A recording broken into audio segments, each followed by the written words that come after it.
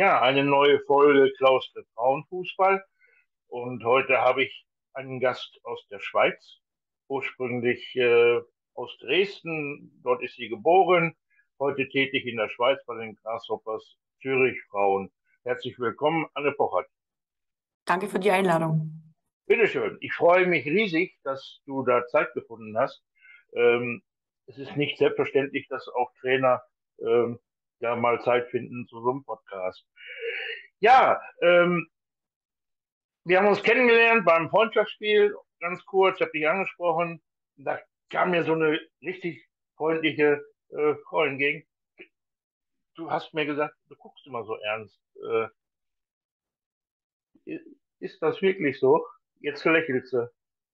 Äh, also ich kann es selber nicht beurteilen, weil ich mich eher selten sehe ähm, ähm, auf dem Spielfeld jetzt direkt. Äh, aber ähm, das ist so ein bisschen das Feedback meiner, meiner Mitmenschen, meiner Umwelt, ähm, dass ich, wenn ich konzentriert bin und in meinem Tunnel, in meinem Fokus, schon ein bisschen ernster gucke. Das ist aber jetzt keine Absicht oder irgendwie eine Fassade, die ich aufbaue, sondern das ist einfach mein, mein Denkgesicht. Ähm, aber ich äh, versuche daran zu arbeiten, dass ich grundsätzlich äh, freundlicher wirke.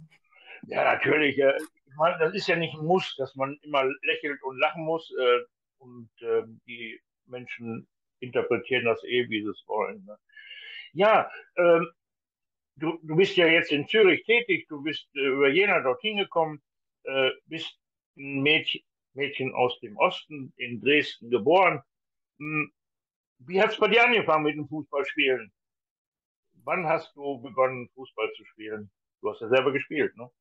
Genau, also ich kann das gar nicht mehr so genau sagen, was das jetzt für ein Jahr war oder wie alt ich da konkret war. Ich weiß, dass ich ähm, als Kind ganz, ganz viele Dinge gemacht habe, von äh, Schachspielen über äh, Schwimmen, äh, Leichtathletik und so weiter. Auch äh, so Jugendfeuerwehr gab es da im Osten auch bei uns, wo man so ein bisschen auch sich ähm, ehrenamtlich betätigen konnte. Das habe ich gemacht und irgendwann hat meine Mama gesagt dann und meine Eltern, ich muss mich jetzt entscheiden, weil die haben dann irgendwie jeden Tag äh, mich woanders hingefahren. Das war schon ein bisschen stressig. Wir wohnen dann auch nicht direkt in Dresden, sondern so ein bisschen an der am Ortsausgang und das ist dann schon immer ein Stückchen zu fahren und ein Riesenaufwand gewesen. Und ich habe auch noch einen Bruder, der ja auch noch so ein bisschen auch Zeit äh, brauchte. Genau. Und ähm, ja, und dann war ich, glaube ich, so, ich würde sagen, ich war neun oder zehn oder elf. Also ich war nicht mehr, also nicht ganz jung, so wie die meisten jetzt anfangen, mit vielleicht sieben oder acht oder sechs Jahren zum Fußball zu gehen. Ich war dann schon ein bisschen älter und ähm, habe dann, äh, ich glaube, das war dann wahrscheinlich wirklich C-Jugend oder so, ähm, angefangen mit Fußballspielen in Dresden, habe mich dafür entschieden, weil ähm, da die meisten Komponenten, ähm, für die ich ja stehe und ähm, die ich so mag an, an den sportlichen Betätigungen einfach zusammenkommen. Laufen, auch Sprinten, äh, das Zweikämpfe führen, auch der Wettkampf, der tägliche Wettkampf äh, im Training und am Wochenende. Und ähm, habe mich dann dafür entschieden und habe es bis jetzt auch nicht bereut. Ja, das ist doch, ist doch super. Ähm, hast du denn mit Jungs dann auch zusammengespielt? Ähm, also tatsächlich ähm, nicht von Beginn an. Ich habe äh, beim Dresdner SC ähm, zwei, drei Jahre lang bei den Mädchen gespielt und war dann relativ schnell, glaube ich, auch ähm, eine der Besten in, in, den Jugendmannschaften und bin dann auf die Sportschule gewechselt in Dresden, auf das Sportgymnasium, habe mein Abitur abgelegt und ähm, habe dann so, ich glaube, Beginn zehnte Klasse ähm, Übergang zur Abiturstufe ähm, dann ähm, zweimal die Woche am Morgentraining bei ähm, Dynamo Dresden teilgenommen, bei den Jungs.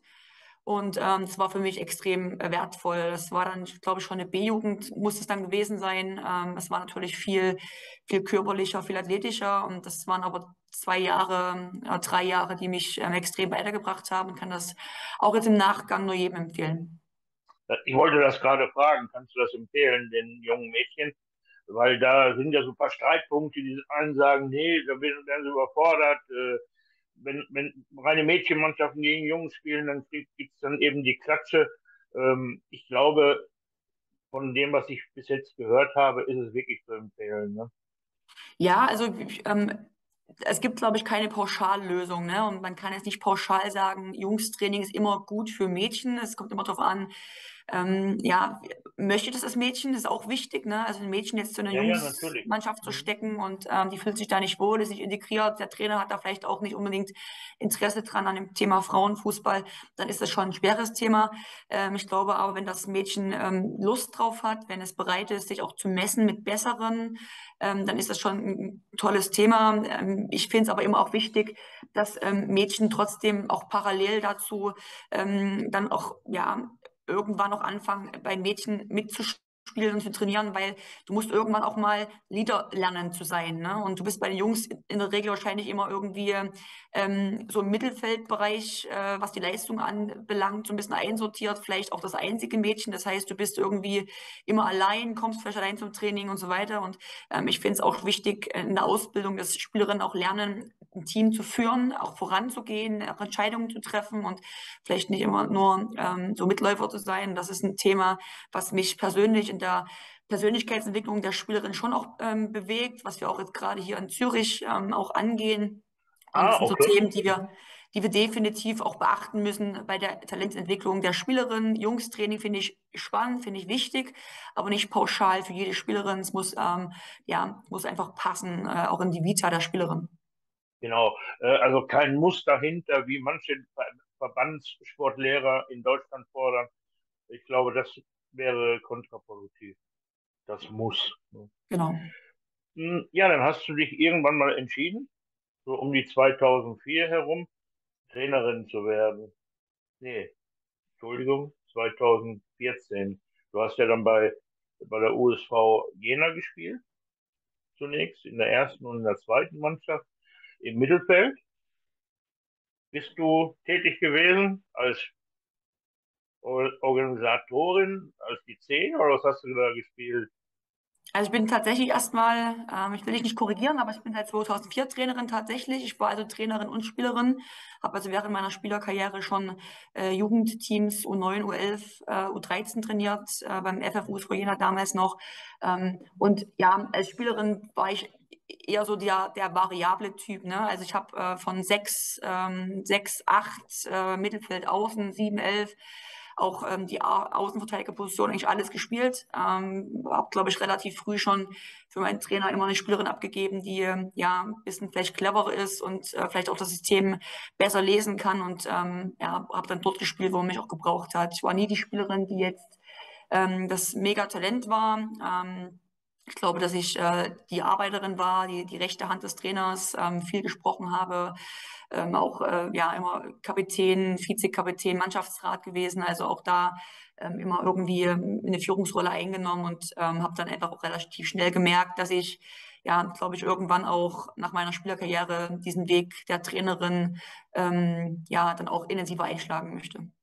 Ja, und dann bist du ja, nach, de nach dem, was ich hier so sehe, bist du ja dann über die Juniorinnen, äh, bist du dann ja reingegangen in die, in die äh, Frauenmannschaften zu trainieren. Und dann hast du ja den Aufstieg mit Karl Zeiss Jena äh, geschafft.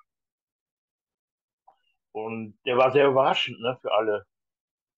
Äh, ja, schon, weil, also wenn man die Bedingungen kennt in Jena, ähm, es ist ja immer eine Mannschaft gewesen, die die finanziellen Rahmenbedingungen nicht hat, wie der typische normale Erstligist, ähm, auch äh, zur damaligen Zeit noch zu keinem Männerverein dazugehörig, jetzt natürlich zum FC Jena gewechselt, aber auch da, das ist ja ein Verein in der vierten Liga, also jetzt auch kein Verein, der jetzt irgendwie auf Rosen gebettet ist.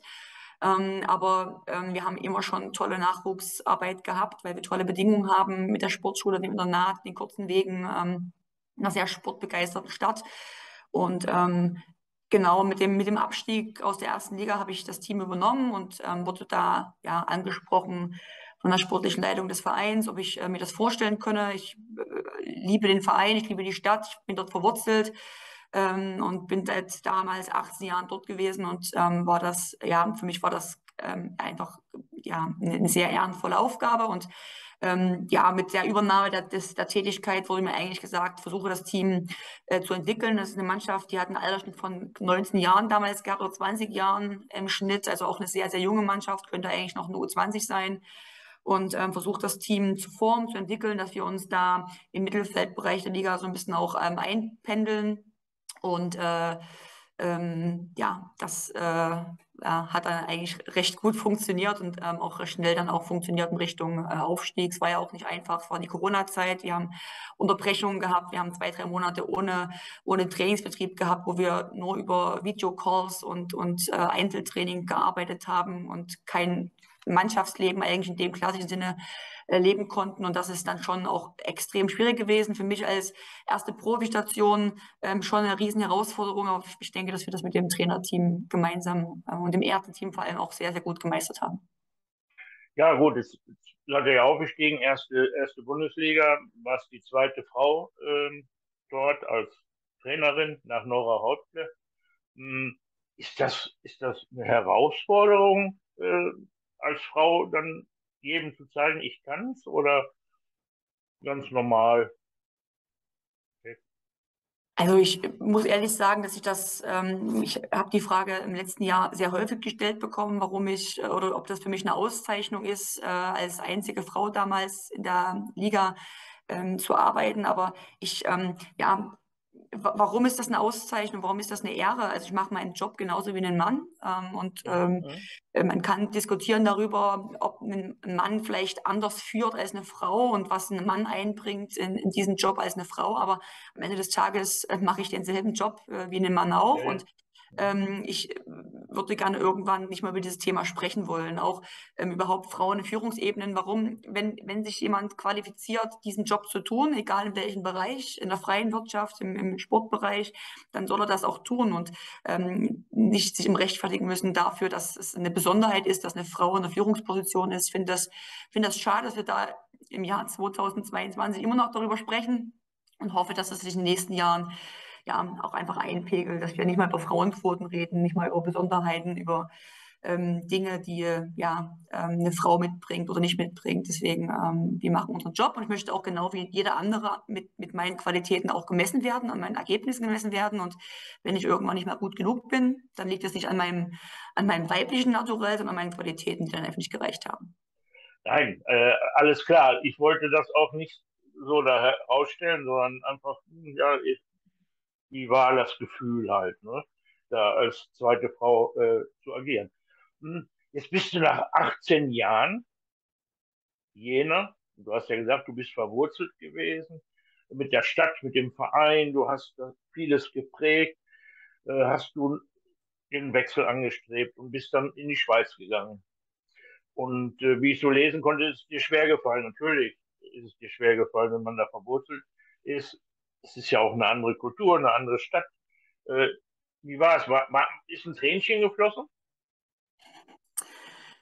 Ähm, also wenn man, wenn man weiß, dass ich 18 Jahre in, in Jena war, davor 18 Jahre in Dresden aufgewachsen bin, also merkt man schon, dass ich jetzt niemand bin, der so ein Wandervogel ist und von Verein zu Verein zieht, sondern ich mich grundsätzlich auch immer mit dem Verein, äh, in dem ich arbeite, auch identifiziere und auch mit der Stadt, mit der Gegend, mit der Region und ähm, ja, das Jahr ersten Liga, ähm, die Saison, die war schon einfach für mich auch extrem kräftezehrend. Ähm, sowohl sportlich als auch von den Rahmenbedingungen infrastrukturell, was den Verein angeht. Ich habe extrem viel kämpfen müssen für, für das Team, für einfach die Bedingungen, die Erstliga würdig sind. Und wir reden nicht von, äh, von äh, einem Budget von zwei bis drei Millionen Euro. Wir reden von einem Budget, der ja ein Bruchteil von dem ist, was ähm, das, mittel, das mittlere Budget eines Erstligaklubs ist. Und ähm, äh, wir waren weit weg, weit weg von dem Budget des Tabellenvorletzten, muss man auch ehrlich sagen. Ne? Also wir haben also wenig, wenig finanzielle Mittel gehabt und ähm, ich habe dann einfach,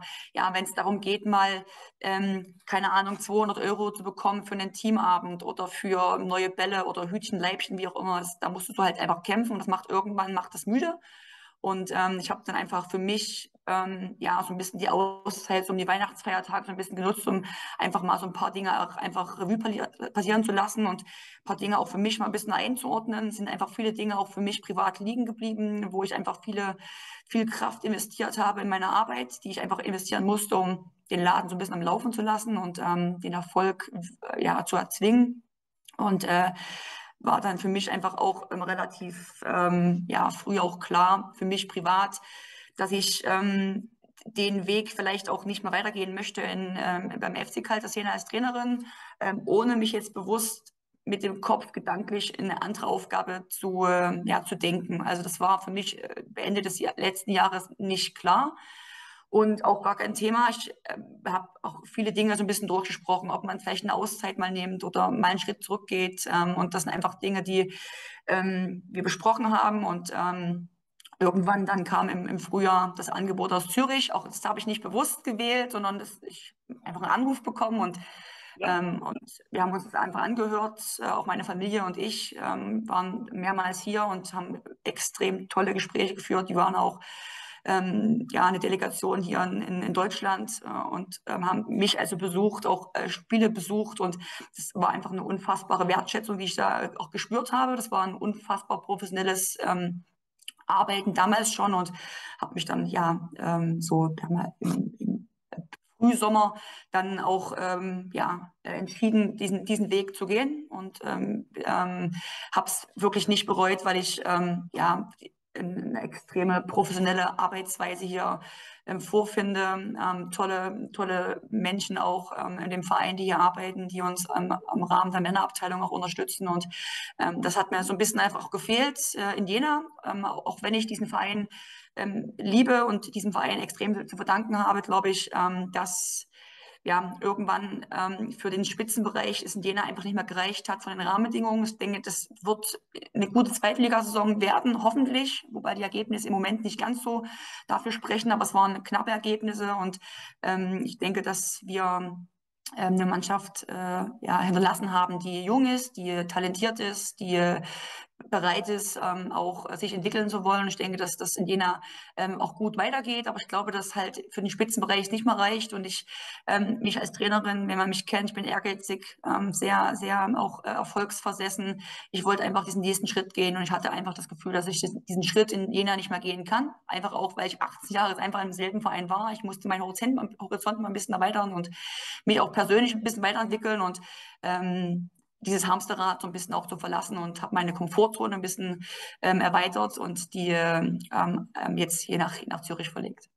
Ja, das ist ja wirklich klasse und dass man diesen Schritt wählt, äh, das ist ja kein einfacher Schritt, wenn man irgend, ich, ich war auch 40 Jahre in Bielefeld verwurzelt und wenn du dann irgendwo aufs Dorf ziehst, nach Pforzheim, das ist eine Umgewöhnung einfach, ist, ist so, ne?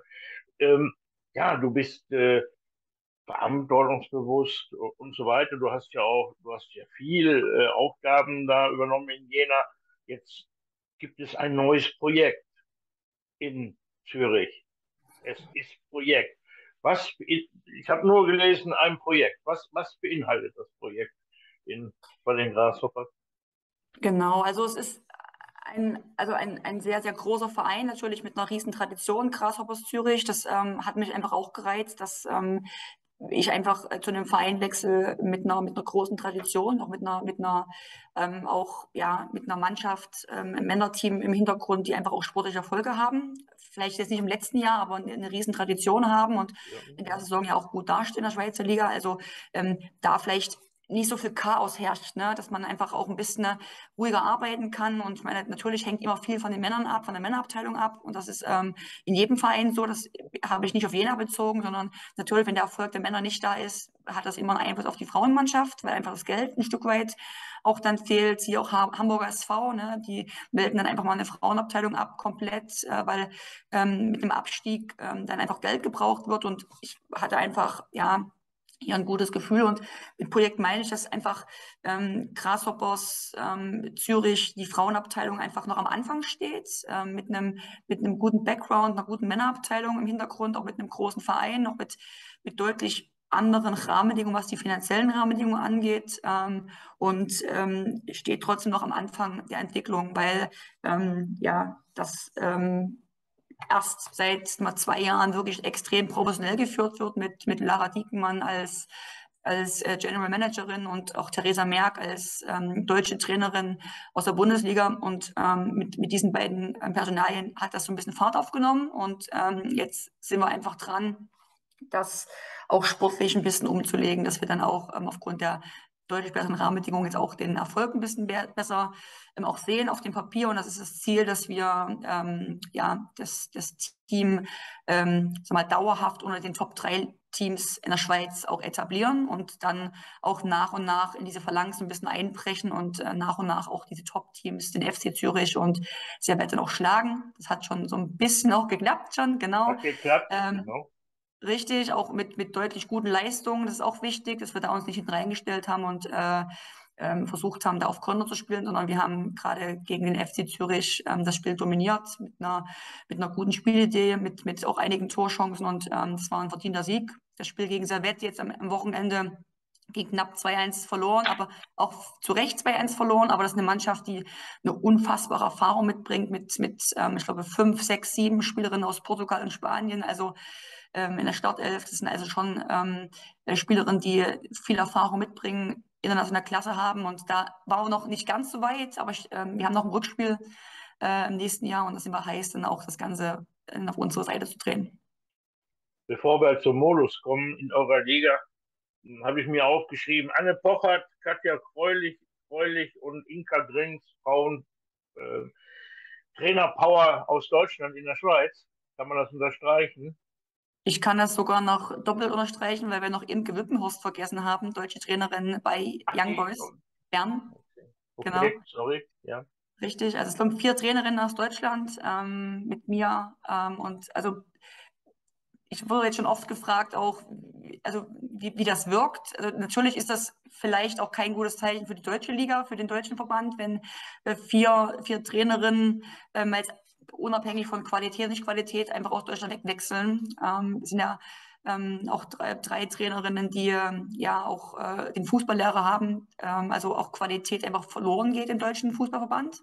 Mhm. Das kann man auch dazu sagen. Ähm, sicherlich hat jede Trainerin ihre eigenen Gründe, warum sie äh, das tut, aber ich denke, dass das ähm, dem Schweizer Fußball extrem gut tut, ähm, weil einfach auch Qualität in die Liga gekommen ist. Ähm, die Liga ist viel offener, was, den, ähm, was äh, das Thema Frauentrainerschaft angeht. Es gibt durchaus Trainer ja, genau. in der mhm. Schweiz, die deutlich mehr Trainerinnen auch haben. Also das würde ich mir für die deutsche äh, Bundesliga schon öfter wünschen oder besser wünschen, mehr wünschen und ähm, kenne aber auch die Gründe nicht, weshalb da vielleicht Vereine weniger den Mut haben oder ähm, ja, die Idee haben, eine Frau einzustellen. Aber ähm, ja, wir fühlen uns wohl hier. Ähm, bin ja auch nicht alleine hergewechselt, sondern auch mit meinem damaligen Co-Trainer aus Jena, Christoph Schliewe, der jetzt hier im, im, im Marketing arbeitet für den Verein.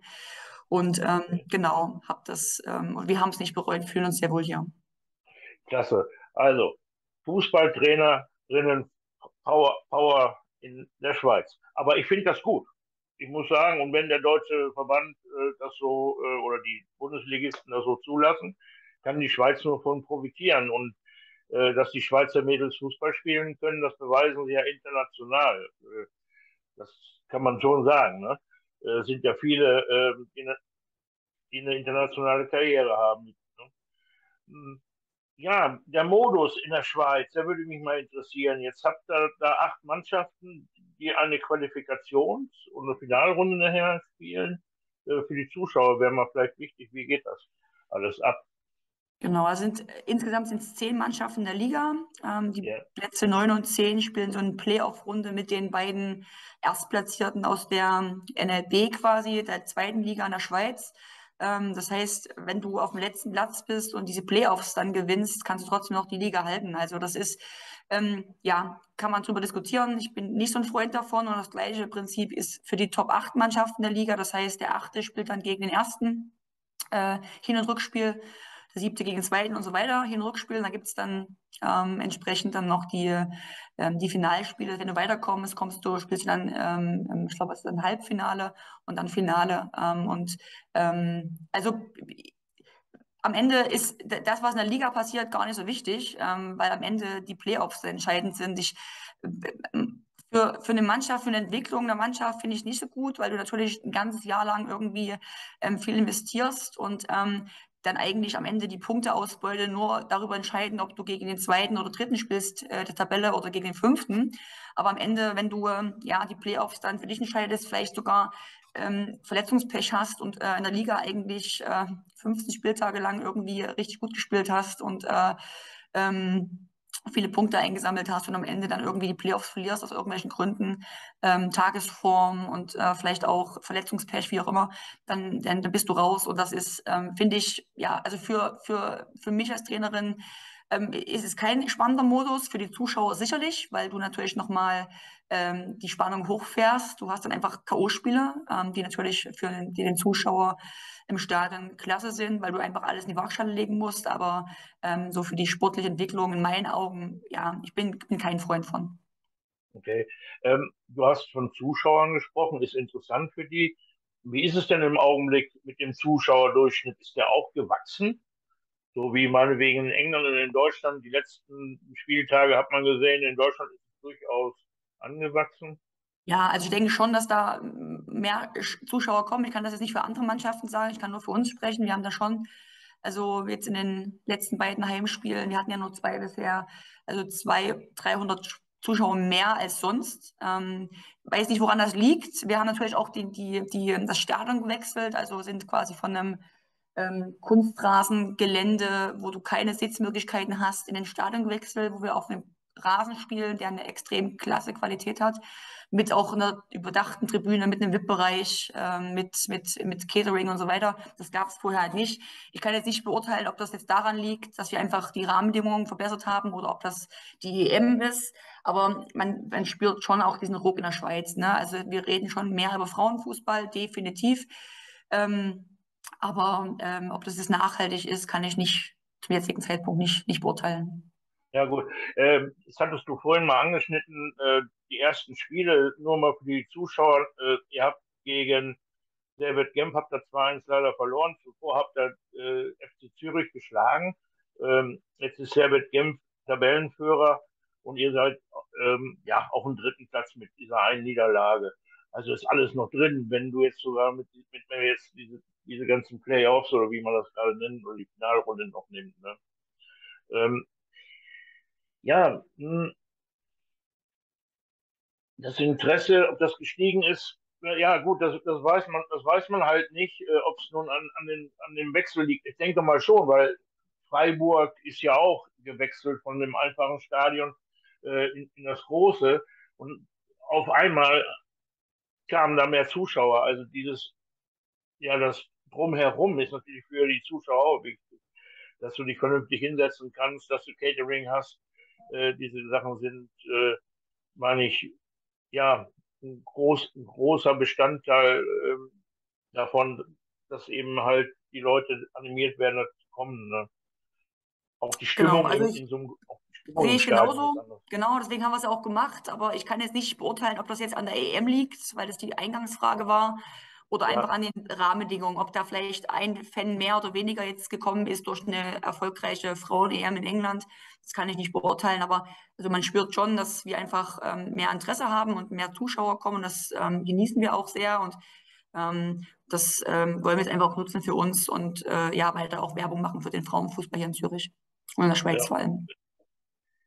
Jetzt hattest du ähm, so ein bisschen von David Genf äh, geschwärmt, dass die so einen tollen Kader haben, aber ihr habt ja auch einen Kader mit jungen Spielerinnen, aber auch mit älteren, äh, erwachsene, erfahrenen Spielerinnen, ähm, wie die äh, Rinas und der Wien, Wiener Reuter, Anna Blesse. Da habt ihr ja auch, ja, zu diesen jungen Generationen habt ihr ja auch äh, Erfahrung. Ne? Absolut. Und ich, also das ist natürlich, ähm, also Lara Diekmann, unsere oder meine Chefin, ist also auch ein Profi, was das angeht. Also selber auch Profi gewesen, Spielerin. Also die hat da auch schon ein gutes Gefühl für die Kaderzusammenstellung. Ich habe da jetzt gar nicht den ganz, ganz großen Anteil daran, weil natürlich mein Wechsel relativ spät erst äh, feststand, sodass ich jetzt noch nicht ähm, in allen äh, ja, Wechsel- oder Vertragsgesprächen mit drin saß. Aber ähm, zwei, drei Spielerinnen habe ich mir einfach gewünscht, die habe ich auch bekommen. Aber ähm, ja, Kader, der Kader ist, hat eine, ist sehr ausgewogen. Also wir haben durchaus auch mehr Nationalspielerinnen als nur die genannten jetzt, ähm, wobei Anna Blesse jetzt kein Nationalspieler mehr ist in dem klassischen Sinne, aber eine Spielerin mit extrem viel Erfahrung. Aber wir haben also ähm, sechs, sieben Nationalspielerinnen hier ähm, verschiedener Länder. Das merkt man schon, das spürt man, dass sie einfach auch ein paar Spiele in Europa auch bestritten haben, international. Und ähm, das, das ähm, hilft einfach auch den jungen, den jungen Spielerinnen. Ne? In Jena hat man halt schon so ein bisschen das Problem, dass wir, ja, dass zu wenig Erfahrung dabei war ne? und, und zu wenig Erfahrung einfach für, für zu viele junge Spielerinnen, dass du einfach die auch ein bisschen an die Hand nimmst und führst und ähm, das machen einfach gerade so, ähm, ja, ähm, Ray, also äh, Rinast und, und Blässe, Anna Blässe, wirklich sehr, sehr, sehr, sehr ähm, geduldig und mit viel, viel ähm, Energie vor dem, nach dem Training sich Spielerinnen ranholen, unter vier Augen und sechs Augen sprechen, ähm, Szenen auswerten im Spiel und das ähm, Training, das ist ähm, unfassbar gut und das hilft uns, weil ähm, das ist ja das Ziel. Wir wollen Talente auch entwickeln. Deswegen habe ich mich auch für Zürich entschieden, weil wir bewusst diesen Weg auch gehen mit jungen Spielerinnen äh, in der Ausbildung. Das macht jetzt zum Beispiel, äh, zum Beispiel jetzt Servette nicht so. Sie setzen bewusst auf äh, erfahrene Spielerinnen, die sie einfach einkaufen und verpflichten und ähm, damit dann einfach den Erfolg so ein bisschen auch äh, ja, erzwingen wollen, äh, würde ich es mal sagen. Aber ähm, wir haben bewusst jetzt auch ähm, die Nachwuchsabteilung umstrukturiert, neue Trainer eingestellt, ähm,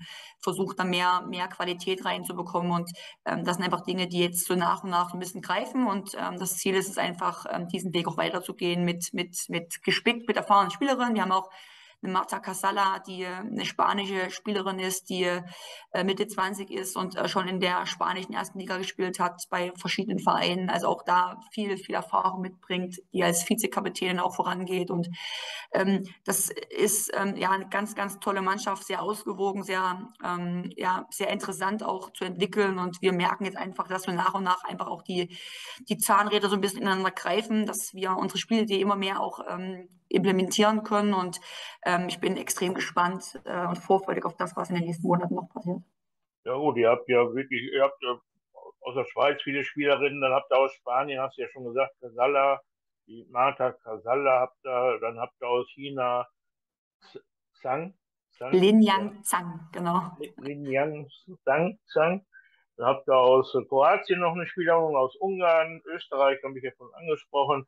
Hm, also auch international äh, gespickt. Das ist, äh, finde ich, ganz gut. Und wenn dann Anna Blässe äh, sich da noch mit einschaltet und, und da ähm, Spielzüge an, sich anguckt das, und die Ray das auch noch mitmacht.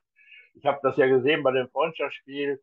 Ähm, am Spielfeldrand äh, die Ray auf der Bühne und immer, ey, ja und so ähm, die Gestik und dann immer wieder äh, versucht, die Mannschaft so ein bisschen äh, zu motivieren. Das fand ich wirklich klasse, muss ich sagen. Ohne jetzt die Kompetenzen der Trainerin irgendwie zu beschneiden, ja, in dem Augenblick, ja. Ist ja auch genau. wichtig, ne?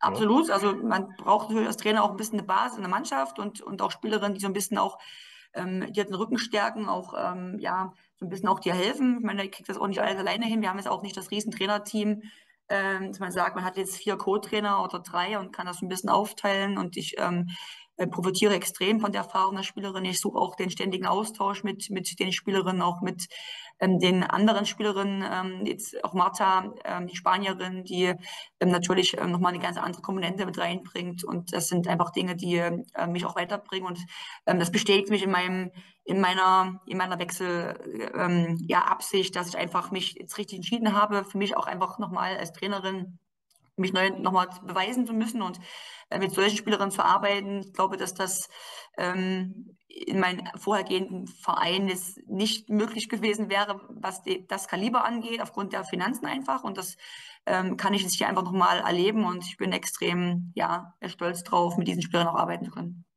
Ja, man muss aber offen sein als Trainer oder Trainerin, genau. dass, man, dass man auch die Worte der Spielerinnen annimmt. Ne? Also man kann sich ja auch abkapseln. Man kann ja sagen, nee, ich bin der Trainer, ich bin Magat äh, Nummer zwei.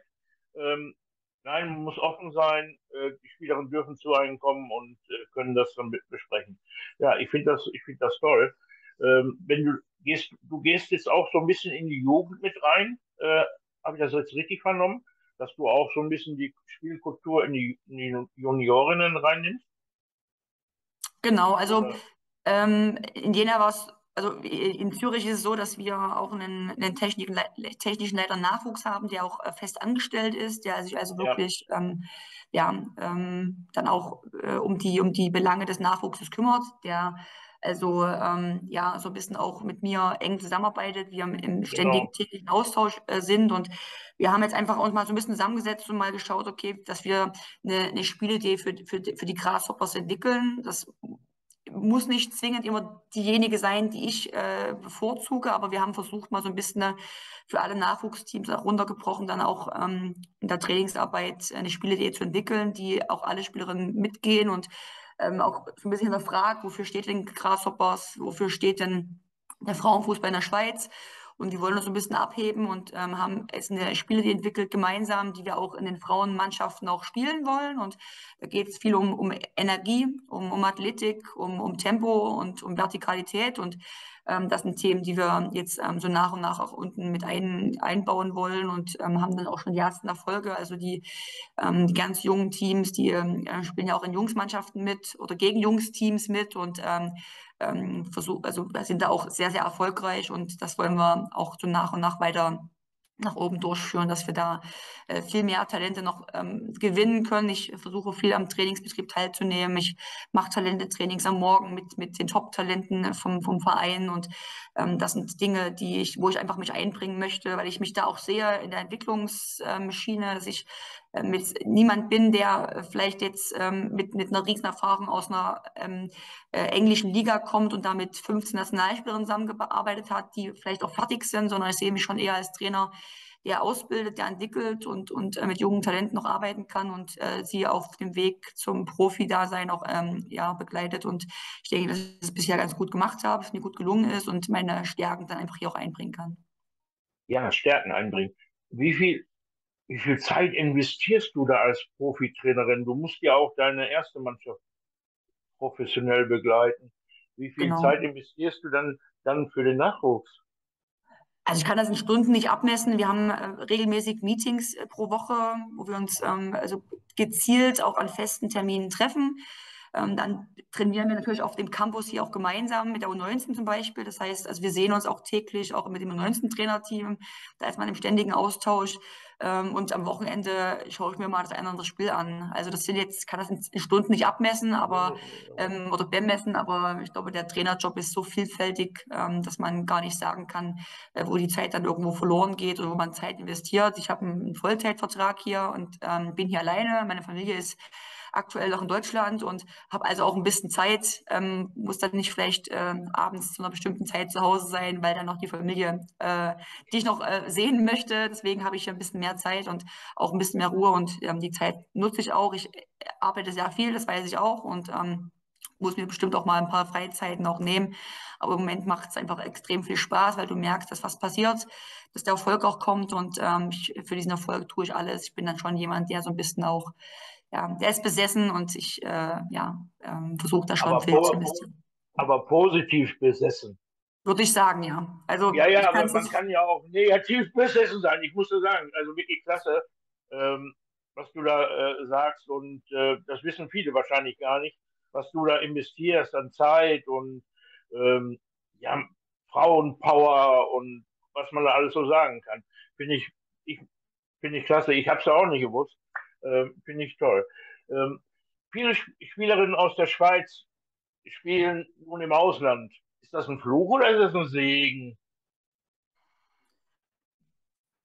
Also ich weiß ich nicht. Also natürlich sind die, ist die Schweizer Liga vielleicht ist nicht die Top-Liga in Europa, deswegen ähm, für, für die Entwicklungsspielerinnen sicherlich gut auch ähm, woanders zu spielen.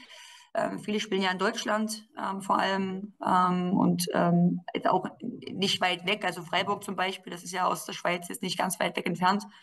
Ähm, also ich finde ich finde es gut, dass einfach ähm, die Schweizerinnen auch gesehen werden, dass auch die Schweiz und das so, so sehe ich es einfach auch, die Schweizer Liga ein Sprungbrett sein kann für, für Spielerinnen. Und ja. das hört man schon noch in vielen Gesprächen, dass ähm, wenn wir jetzt einfach Erfolg haben und die Berater auch diese, diese Rückmeldung geben, dass die Spielerinnen sich hier wohlfühlen und ähm, spüren, dass sich was entwickelt hier, dass einfach auch dann das ein Karrieresprungbrett sein kann. Und das weiß ich auch das sollte vielleicht irgendwann mal in eine andere Richtung gehen, dass man vielleicht auch mit Spielerinnen vielleicht mal über fünf, sechs, sieben, acht Jahre arbeiten kann. Aber im Moment ist es so, dass ähm, ich glaube, so die das Liga, erste Liga Drittel ähm, der Schweiz ist schon wirklich qualitativ sehr hochwertig. Ähm, und dann fällt es ein bisschen hinten ab. Das ist schade.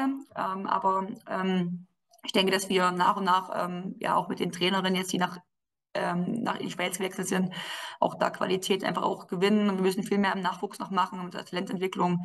Ähm, da ist der Verband auch gefragt ähm, und ähm, da sind wir dran und in vielen Gesprächen, vor allem auch ähm, Lara Diekenmann, die da ähm, natürlich auch als äh, Schweizer Rekordnationalspielerin da auch großes Ansehen genießt und, und da viel auch ja, Pioniersarbeit leistet und wir müssen da einfach jetzt weiter dranbleiben. Aber ich denke, dass das, ob das jetzt Fluch oder Segen ist, kann ich nicht, will ich nicht beurteilen, weil das für die Spielerin sicherlich ein Segen ist, ähm, einfach in einer, in, einer, in einer, guten Mannschaft zu spielen. Ich meine, wenn man sich die ähm, ja, die deutsche Bundesliga anguckt, da gibt es ja auch Nationalspieler, die woanders spielen, ähm, ähm, im Männerbereich zum Beispiel ähm, und auch im, im, Frauenbereich. Also je nachdem, wie es für die Spielerin einfach passt, wo sie sich am besten entwickeln kann, ist das doch eigentlich eine, eine schöne eine schöne Auszeichnung auch für, den, für, die, für das Land, dass viele Schweizerinnen auch ähm, gesehen werden. Da wollte ich hin, da wollte ich hin. Und äh, Freiburg ist da ja so ein Vorzeigeverein, sage ich mal, der viele Schweizerinnen die Möglichkeit und Gelegenheit gibt, äh, bei denen zu spielen und auch äh, erstmal in der ersten Liga und dann äh, auch zum größten Teil Stammspielerinnen. Ne? Ähm, gut, komm, kommen wir langsam zum, zum Schluss. Ähm, was wünschst du dir für den Frauenfußball äh, allgemein, jetzt für die Schweiz, für, für, äh, für Deutschland auch? Welche Wünsche hättest du da? Was kann man an, was, was könnte besser laufen. Äh, ja. Also ich wünsche mir erstmal eine, eine, faire, eine faire Diskussion über den Frauenfußball ähm, mit weniger mit weniger Vorurteilen und mit weniger ähm, auch ähm, ja sehr ähm, sch schlimmen und äh, unter der Gürtellinie liegenden Aussagen zum Thema Frauenfußball. Ähm, und also Frauenfußball ist ein, also berechtigte Sportart, die, die gleichwertig ist zu allen anderen Sportarten. Natürlich ja, kann man jetzt vielleicht äh, Männerfußball mit dem Frauenfußball, was die Athletik angeht, das Tempo angeht, nicht vergleichen. Aber wenn man die EM gesehen hat, es ist eine, eine unfassbare Qualität, ähm, auch und sehr schön auch anzusehen gewesen. Und ähm, ich würde mir wünschen, dass wir ähm, ja, einfach fair über den Frauenfußball sprechen, dass wir uns mit solchen Vorurteilen und solchen Aussagen, die ähm, extrem ja, bösartig sind, nicht mehr auseinandersetzen müssen, dass wir ähm, gesehen werden. Die, die Sichtbarkeit, die Transparenz ist, ist extrem wichtig, dass wir einfach einfach auch die Chance haben, unsere Sportart, ähm, unseren Fußball auch zu zeigen. Und ich denke, dass wir uns nicht verstecken müssen. Und merke das jetzt hier auch in Zürich, dass viel mehr Leute uns wahrnehmen, dass das Fernsehteam kommt, dass wir, dass auch alle Spiele gefilmt werden. Das ist schön. Und ähm, ich denke, dass wir da auf einem guten Weg sind. Und ähm, andere ja, Länder machen es ja vor, England, Spanien, ähm, die das einfach auch ein bisschen, ja, auch vielleicht ein bisschen erzwingen, dass einfach Vereine Frauenfußball fördern müssen. Vielleicht muss der DFB sich da auch ein bisschen hinterfragen, auch der SFV, der Schweizer Verband, ähm, um da vielleicht den Frauenfußball in diesen entscheidenden Push zu geben. Und das würde ich mir wünschen, dass wir da einfach gemeinsam äh, im positiven Sinne über den Frauenfußball sprechen. Jetzt kommen wir zum Schluss. Sichtbarkeit hast du heute gezeigt. War ganz wichtig, das Gespräch, dass du hier mal äh, auch bestimmte Themen angesprochen hast, vielleicht auch unangenehme Themen. Äh, hast viel äh, gesagt über die Schweiz, über deinen Verein. Vielen herzlichen Dank dafür. Hm. Ich wünsche dir viel Erfolg, Vielen dass. Euer, dass euer Projekt auch gelingen wird, dass du auch Zeit bekommst, das entsprechend umzusetzen. Ähm, schöne Grüße an Lara Diek Diekenmann und vielen herzlichen Dank, dass du da warst nochmal. Vielen Dank, auch dir alles Gute und hoffentlich bis bald. Ja, bis bald.